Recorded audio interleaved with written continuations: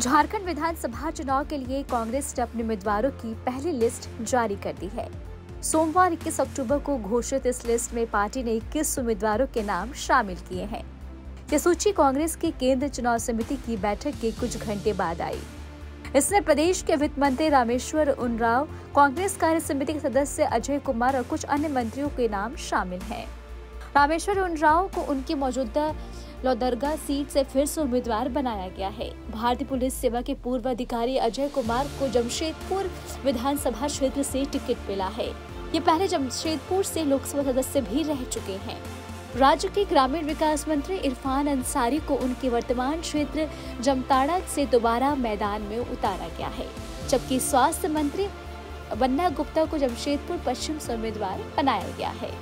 इसके साथ ही आपको बता दें कि दीपिका पांडे को भगमा से मिला टिकट। कृषि मंत्री दीपिका पांडे सिंह को भगमा से फिर से उम्मीदवार बनाया गया है, जहाँ वो वर्तमान में विधायक हैं। कांग्रेस सत्तारूढ़ गठबंधन में सीट बंटवारे को लेकर चल रहे गतिरोध के बीच उम्मीदवार घोषित किए हैं। पार्टी ने सोमवार रात कहा कि मंगलवार को यह स्पष्ट हो जाएगा कि कौन कितनी सीटों पर चुनाव लड़ेगा। आरजेडी ने सीटों को लेकर जताई नाराज़गी। झारखंड मुक्ति मोर्चा और कांग्रेस ने बीते शनिवार को घोषणा की थी कि दोनों दल राज्य के इक्यासी विधानसभा सीट में से 70 पर चुनाव लड़ेंगे और बाकी सीट पर घटक के अन्य सहयोगी लड़ेंगे। राष्ट्रीय जनता दल, यानी कि राजद, ने इस घोषणा पर नाराज़गी जताते हुए रविवार को कहा 12 से कम से कम उसे स्वीकार्य नहीं होगी। इसके अलावा अगर अकेले चुनावी मैदान में उतारना पड़ा तो वो स्थिति में वह भी इंडिया गठबंधन की संभावना को नुकसान पहुंचाएगा। झामुमो, कांग्रेस और राजद विपक्षी गठबंधन, Indian national developmental inclusive alliance, यानी कि इंडिया, शामिल है। झारखंड में दो चरणों में 13 और 20 नवंबर को मतदान होगा और मतों की गिनती 23 नवंबर को होगी।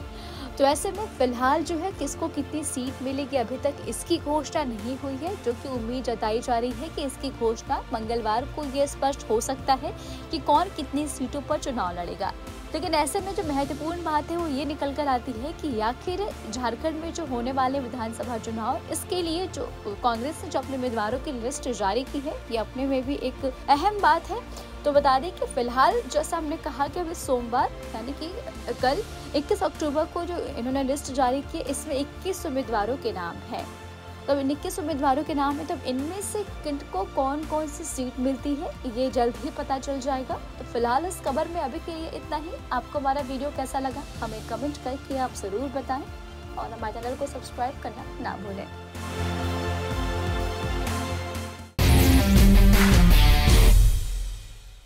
न्यूज़ नेशन अब व्हाट्सएप पर। खबरों के ताज़ा अपडेट के लिए न्यूज़ नेशन के इस क्यूआर कोड को स्कैन करें।